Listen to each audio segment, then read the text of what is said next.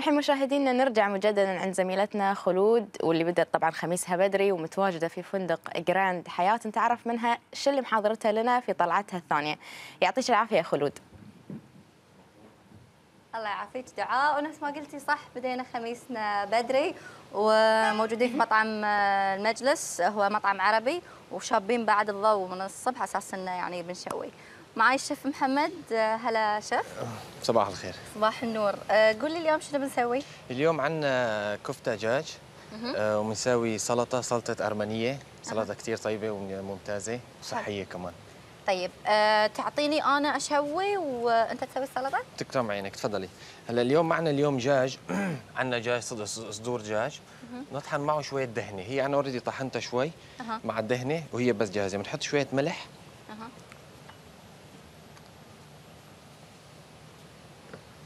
شوية بهار أبيض. شوية تشيلي بيست وشوية توم.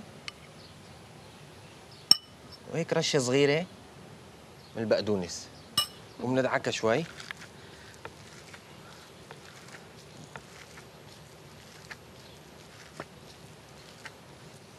طبعا آه، أعطيكم فكرة آه، بس شوي عن ال- المطعم. طبعا آه، القعدات في موجودة قعداتها على البحر. ال- الجو آه، بيكون فيها روعة. الحين شوي شمس بس على المغرب بيكون الجو آه، بعد أحلى. آه، طيب فعندهم أشياء دائما تكون مميزة يوم الخميس والجمعة. بالإضافة ان ال- ال- الفندق جراند حياة بشكل عام عندهم مطعم إيطالي. طبعا أكيد فيه المأكولات ال- الإيطالية وبعد عندهم بعض الأكلات ال- ال- البحرية.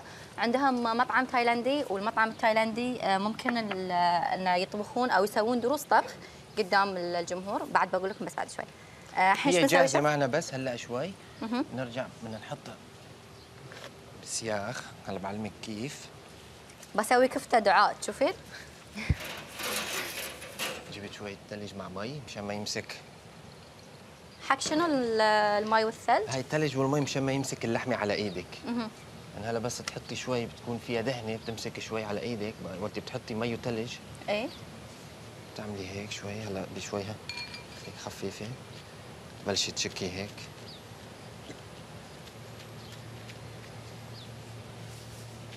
آه، الشيف عندكم الخميس والجمعة في المطعم هني تسوون الباربيكيو برا حق الناس؟ خميس وجمعة. وكل خميس وكل جمعة كمان بنغير ال menu ال barbecue. يعني ما بيكون الباربيكيو ثابت. حلو. يعني بنظبط مشان إنه أذواق العالم تعرفي في منهم بحبوا ال seafood في منهم بحبوا ال mix grill. أها. بقى بنغير لهم دائما مع ال seafood مع ال mix grill. ودائما شنو الوجبات مثلا اللي آه، تغيرونها أو أكثر آه، يعني أكثر طلب عليها؟ هلأ في أكثر شيء الطلبات عم بيجي على الدجاج وعلى ال mix grill عنا. أكثر شيء لأنه الجا فيه شيش طاووخ فيه كفتة وفيه لام شوبس. أكثر شيء عم بيجينا.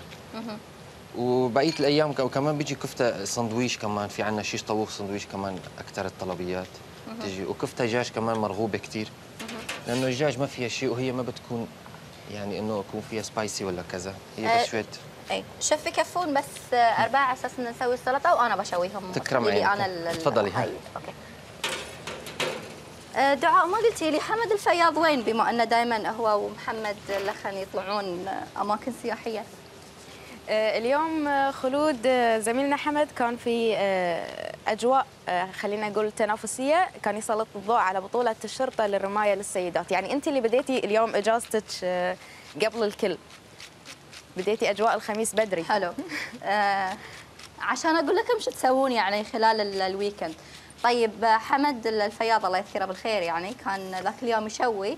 فهو حاط الصياخ على عند الضوء. كان يقول إنه لازم كل شوي إنه يقلبهم ولازم إنه يطقطقهم. إنه كان يسوي هالصوت. فيوم سألته ليش؟ كان يقول على أساس إن الدهن اللي في اللحم أو اللي في الدياي آه، ينزل. خلود. إن شاء الله بس ما أحرق الاكل خلود. إذا حركته بخليه هو يسوي. هلا. لا تطقين الكفتة وايد لأن أنا أعرف إن الكفتة ممكن تنزل منك في ال في ال شو اسمه يمكن هو كان يسوي آه، يقطع اللحم أو؟ شيء. آه، إذا ال- شنو اللي يطقون ال- الصياخ الكفتة أو ال- الكباب؟ الكفتة. أو اثنينهم. الاثنين مرات اثنين اثنين. شفتي دعاء؟ معلوماتك غلط. أش- آه، خلود ما معنا- نسوي سلطة. هاي سلطة أرمنية معنا. طيب الحين قاعدين نسوي السلطة. يقطع ال- الخيار. قلت لي سلطة إيش اللي بنسويها؟ سلطة أرمنية. هي كثير سهلة. أرمنية. فيها فيها آه، بندورة وخيار وخس.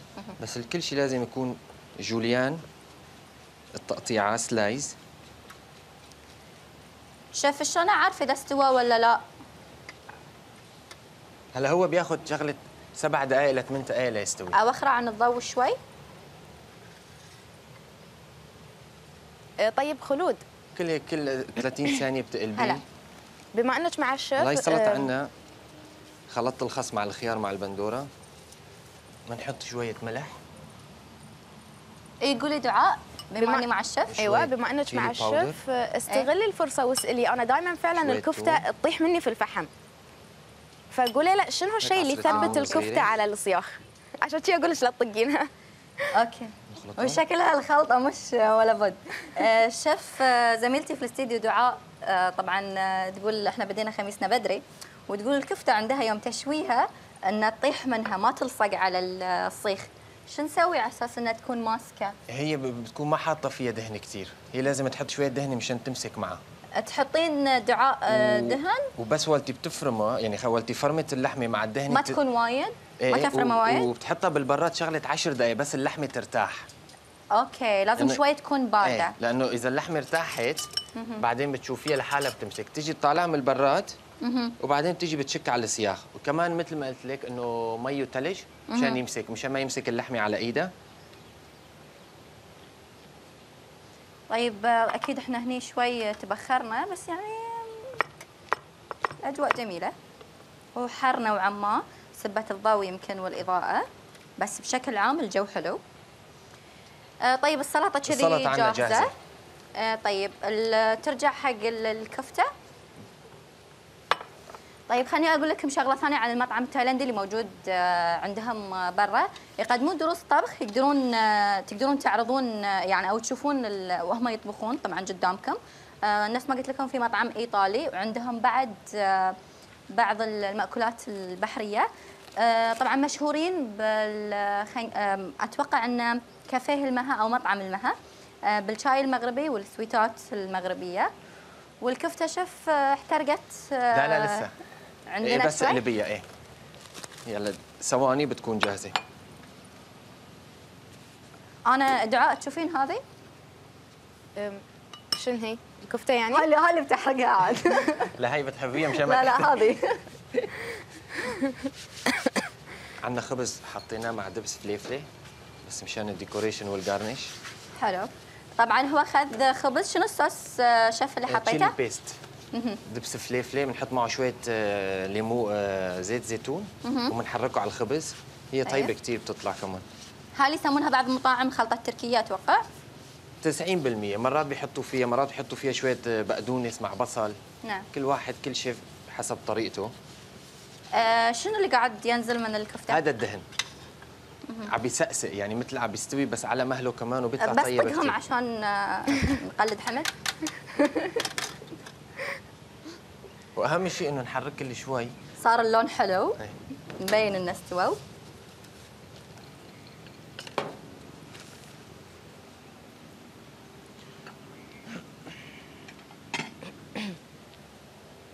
وصار الطبق جاهز. آه، المكان نفس ما قلت لكم الفندق مكانه روعة. آه، المطل على أجواء آه، جدا آه، جميلة. ودائما يكون عندهم في مطاعمهم وفي الفندق أشياء سبيشل حق الخميس والجمعة. المكان عائلي آه، الأجواء جميلة. الأكل عندهم لذيذ. أقدر أحكم من الحين يعني عشان ريحة ال- ال- الأكل. وشوف الحين بنسوي قاعدين نسوي. هاي. ديكور. ناخذ كمان بصلة. بصل صغير بنحطها محبة دهنة كمان هيك تستوي على مهلها من الساعة كم تقريبا تبدون آه، الشوي برا؟ آه، ببلش من الساعة 6 من الساعة 6 الكفتة صارت جاهزة عنا؟ صارت جاهزة ولونها مبين انها استوت دعاء إيش رأيك؟ شكله لا تعليق. جميل. لا لا هو مش لا تعليق خلود. أنا لك سادة تعليقي في الأخير. وفي منهم بيحبوا يشووا الخبز مشان تضل هيك كريسبي شوي. حلو. نفردها هيك بالصحن شوي. طيب بس آه، أخليه في يدي على أساس إن ال- بعد يشوفون إيش قاعد يسوي. طيب. طبعا هني على الخبز حط الخلطة. كفتة. الدجاج جاهزة؟ الحين بحط الكفتة. أهم شيء نمسح هون دائما مشان إذا كان في فحم ولا شيء شغلة. ما يكون في.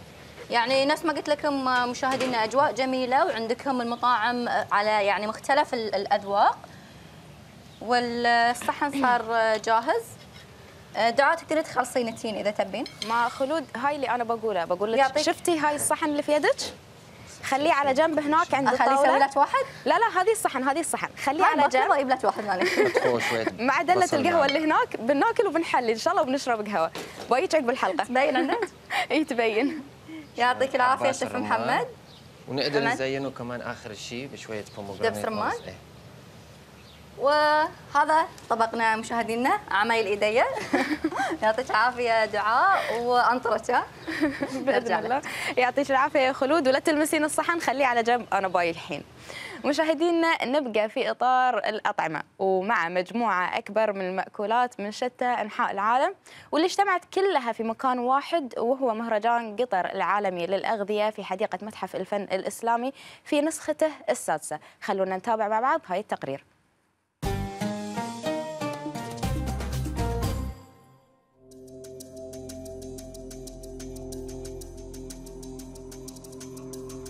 في كل عام تشارك دولة قطر بمهرجان قطر العالمي للأغذية واللي يعتبر واحة تشارك فيها كل المطاعم والفنادق والجهات السياحية الموجودة في دولة قطر بأطعمتها. طبعا أنا هني في حديقة متحف الفن الإسلامي عشان أتعرف معكم أكثر على هذا المهرجان وعلى الفعاليات اللي موجودة فيه.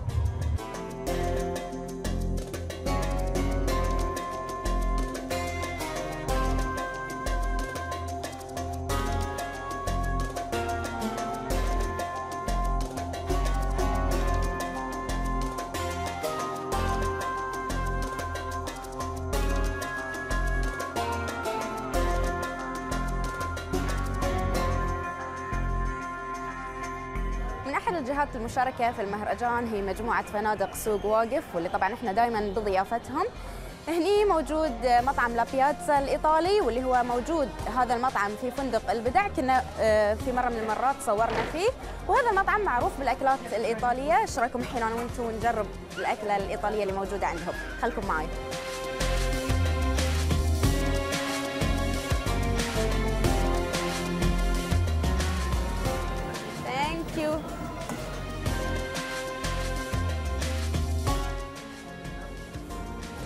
Taste something? This is um, Wyndham? yes. Okay, so can I have a piece of chicken?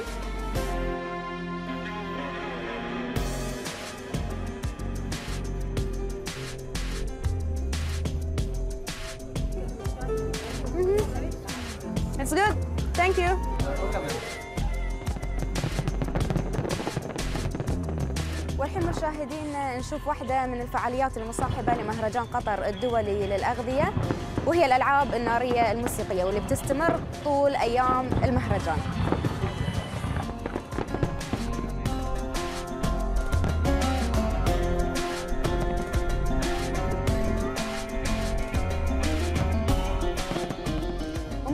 المشاركات اللي موجودة في المهرجان هي مشاركة الفندق كامبنسكي مارسا ملاز واللي شارك للمرة الأولى له طبعا آه، في أجواء هذه الخيمة بتاخذنا في أجواء مختلفة تماما عن الأجواء الصاخبة اللي في المهرجان. الأجواء هني هادية عربية 100% سواء كانت من الإضاءة من الموسيقى وحتى من آه، مذاق الأطعمة اللي موجودة داخل. واللي باخذكم في جولة بين آه، مذاق هذه الأطعمة العربية. خلكم معي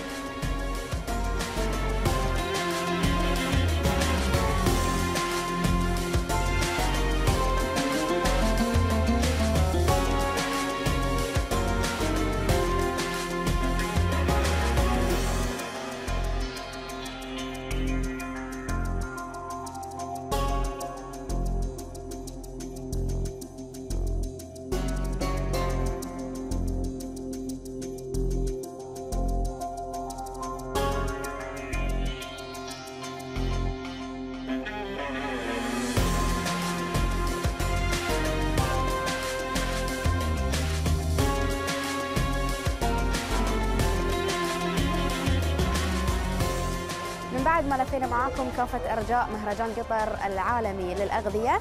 وذقنا مختلف الأطباق بمختلف نكهاتها. أتمنى أن الكل يزور ويجرب ويستمتع في إجازة نهاية الأسبوع خصوصا أن هاي المكان يعتبر مصغر من كافة وجهات السياحية اللي ممكن الواحد يشوفها في الدوحة. أما الحين وصلت حق المحطة الأخيرة معاكم واللي هي هذه مسرح الطبخ. بترككم وبستمع إلى المحاضرة الخاصة بالطبخ وأتمنى أن أنتم تشوفون هاي المكان وتعيشون التجربة.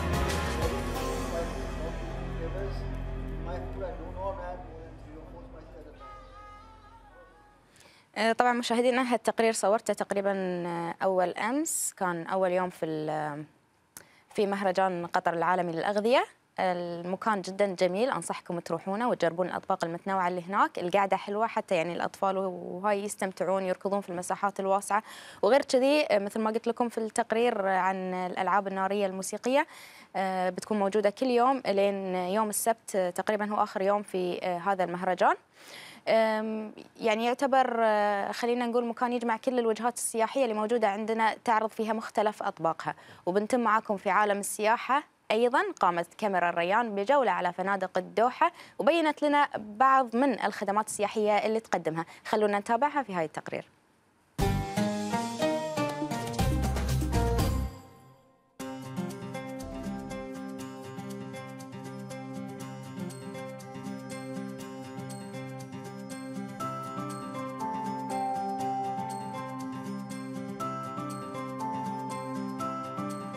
عندنا يعني أكثر من نشاط. عندنا اللي هو الزبون. ناخذه من المطار. عندنا سيارات خاصة لين الفندق. ومن ثم بعد بعدين عندنا مثل ما تقول آه، دليل سياحي اللي هو عن الأماكن اللي في قطر. ولا الفعاليات اللي صارت في دولة قطر. فإحنا نبلغ السواح كيت كيت كيت عندنا هالشكل. ونطلع وياهم ونرويهم عن معالم قطر والأشياء اللي ما يعرفونها. هذه تعتبر مساحه وفي تنسيق بيننا وبين وبين السياحة بين آه، الهيئة العامة للسياحة.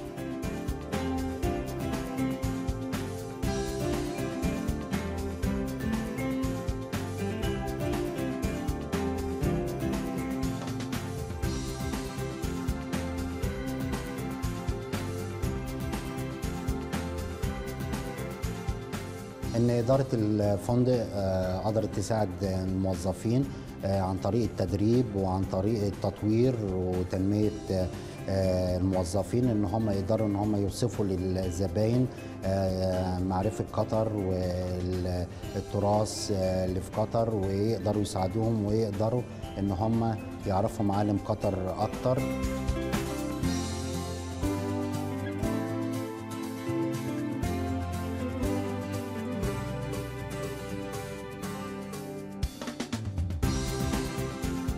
أكيد بالدوحة. هلأ في منافسة كبيرة بقطاع الفنادق خاصه لل numbers لل hotels اللي عم تفتح بالدوحة هلأ حاليا. في كثير منافسة كبيرة. كأوتيل فندق رويال ريفيرا مخولين مدربين موظفينا على أكثر معايير ال hospitality worldwide وعندنا على طول special training ل each department ليستقبلوا وليكون تعاملهم مع كل العالم من أي جنسية واصلين لعنا على الأوتيل ب professionalism ب experience ليكون الزبون على طول يحس إنه هو موجود ببيته.